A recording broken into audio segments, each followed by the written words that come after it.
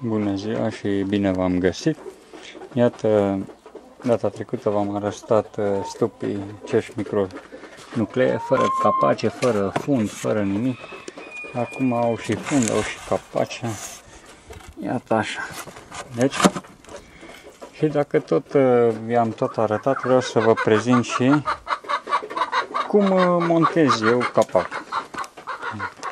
Deci, o să vă arăt. Deci după ce am tăiat o bucată de OSB,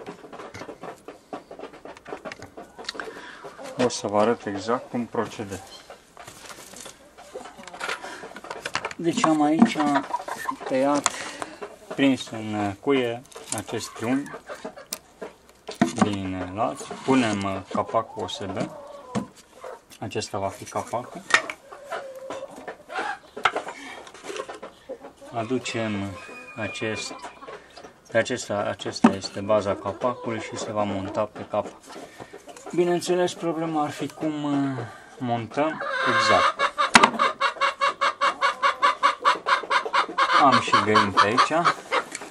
Iată cum uh, voi fixa ca să știu unde să capsez. Am pus acești doi lați ca distanție.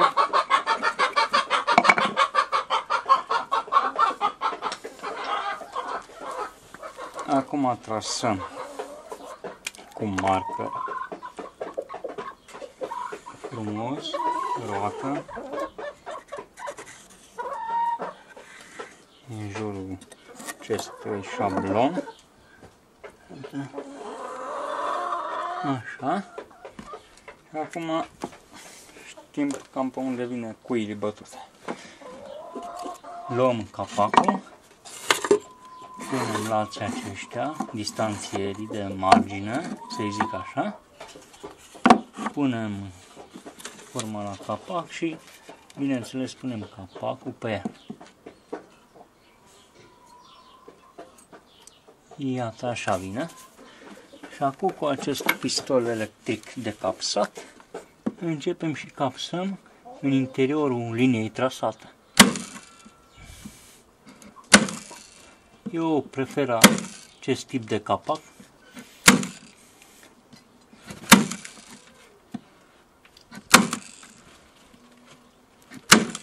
Pentru a nu ploua chiar pe micronucleile acestea când va ploua și de soare va fi un pric protejat. Așa. Așa.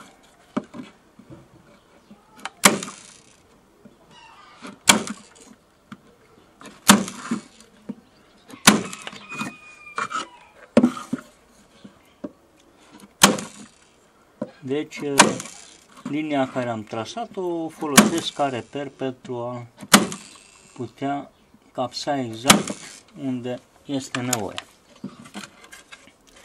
Iată, piesele sunt asamblate. Deci, asta este piesa asamblată. Da, capacul, așa o să arate. Acum bat un pic cu ciocanul cu ilii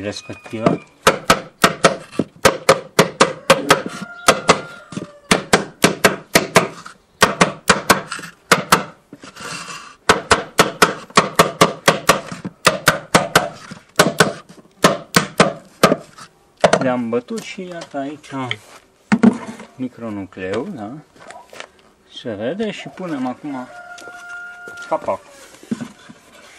Aici în interior încape o bucată de polistiren de 2.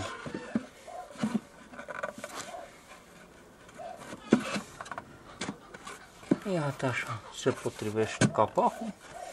Am făcut fix. Iată micronucleu, da? Cu capac, cu fund, e așa arată. Am arătat și cum montez capacul, am spus, eu prefer să fie 2 cm pe lângă margine, în caz că să nu plouă chiar pe cutiuța. Cu asta v-am lăsat și numai bine pe data viitoare.